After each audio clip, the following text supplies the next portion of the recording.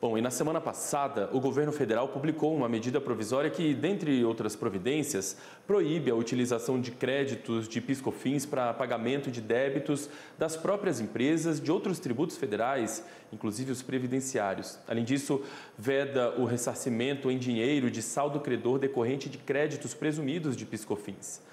O assunto, a gente tem visto, né, tem repercutido de forma negativa no setor do agronegócio e hoje eu converso sobre essa questão com o diretor executivo da Associação Brasileira da Indústria de Café, o Celírio Inácio.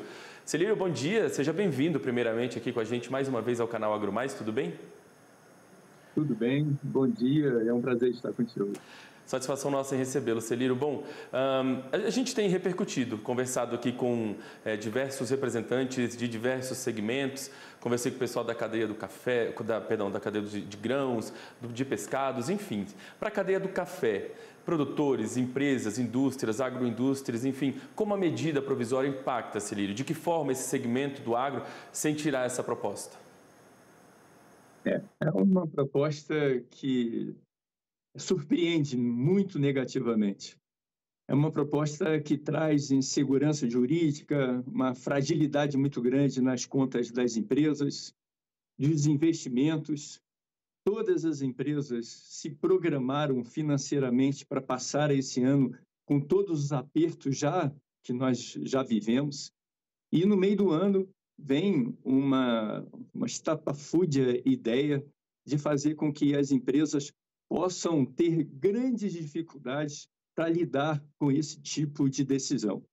É, uma decisão dessa traz para o mercado interno tudo que é contrário ao que a gente imagina, como competitividade.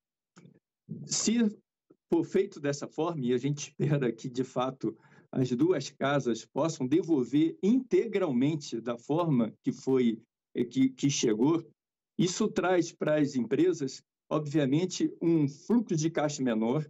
Isso vai trazer com que eles usem o capital de giro, e usando o capital de giro, vai faltar é, o dinheiro para todas as suas necessidades, vai ter que fazer empréstimo, e uma vez fazendo empréstimo, vai acabar onerando o produto final, que, como, como final dessa cadeia, o consumidor vai é, sentir as, os aumentos em decorrente de toda essa, é, essa decisão tão é, absurda que o governo quer trazer é, para o café e para o agro como um todo.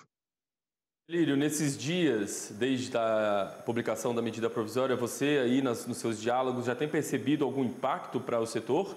Porque, por exemplo, como eu disse, eu conversei com o pessoal da Bipesca, eles dizem que alguns carregamentos, por exemplo, estão na, nos portos porque há uma insegurança jurídica, o pessoal está esperando aí algumas decisões avançarem para, enfim, para que o setor pudesse também avançar nos envios, nos embarques, enfim.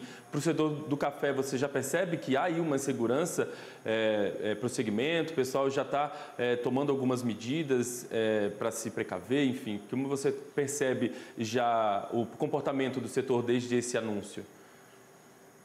Como essa MP tem uma decisão de imediata, então todos os créditos que poderiam ser usados para pagamento de impostos federais é, e, e, tributos é, eles vão ter que ser pagos através de um dinheiro que as empresas vão ter que recorrer a bancos, se não tiver no seu caixa. E mesmo que tendo no seu caixa, como eu falei, vai faltar em alguma etapa é, do processo.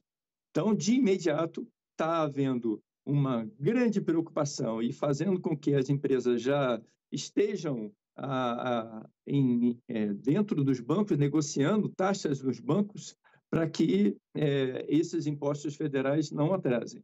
Para as exportações, isso é extremamente grave, porque todos os contratos feitos, atuais, daqui um ano ou daqui dois anos, isso é comum ao café, todos eles é, fizeram de acordo com é, o que já existia dentro da legislação desde 2002, é, com esse crédito do PIS-COFINS. Se assim é, tiver qualquer é, andamento nesse processo, o prejuízo é um absurdo, inclusive perdas de é, clientes internacionais. Eu lembro que o Brasil é o maior exportador do mundo de café e é o maior produtor do mundo. Existe uma credibilidade muito grande para com as operações do Brasil. Se isso acontecer, traz para os clientes internacionais, também assim como eu falei das, dos prejuízos internos, traz também é, toda uma insegurança que faz com que o Brasil não seja competitivo.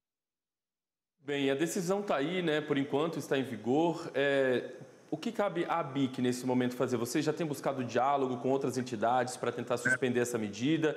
Como desde, desde o anúncio, como a BIC tem é, se movimentado em relação a isso?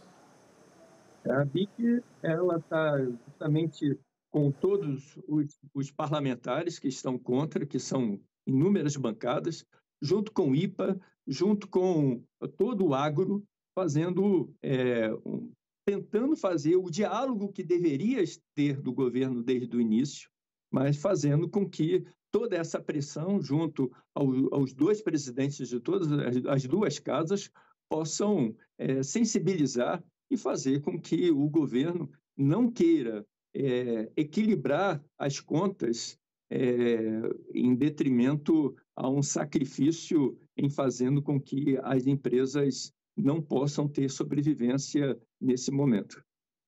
Faltou diálogo, né, Celírio, com o governo, do governo com as entidades, você falou bem aí, né, porque é uma medida que veio aí, segundo o governo, para buscar equilibrar a questão fiscal, né, das contas públicas, é uma medida arrecadatória, mas que é, foi tomada sem esse diálogo, né, esse é, um, é, esse, é, é comum esse, esse consenso, né, de que não houve um diálogo com as entidades, né. É, eu digo que isso aí é o ápice é, da falta do diálogo, é o ápice da, de imperar uma, uma, uma vontade sem entender quais são as saídas para isso. Não é possível fazer com que, em detrimento a uma medida tomada, possa colocar outros empresários também em dificuldades e parece até que existe uma vontade de colocar empresários contra empresários.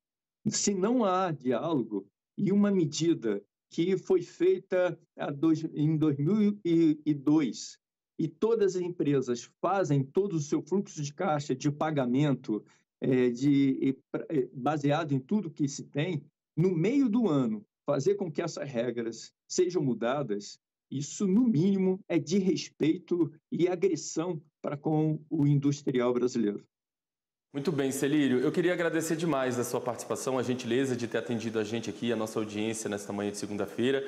Queria desejar a você uma boa semana e a gente vai acompanhando de perto né, os avanços dessa medida aí para ver o que de fato vai ficar decidido nos próximos dias, porque com certeza o governo vai ter que revisar e voltar a conversar com todos os segmentos do nosso setor para buscar uma solução né, que beneficie todo mundo. Enfim, muito obrigado mais uma vez. A gente volta a conversar numa nova oportunidade. O canal está sempre aberto, viu? Muito obrigado e sempre à disposição.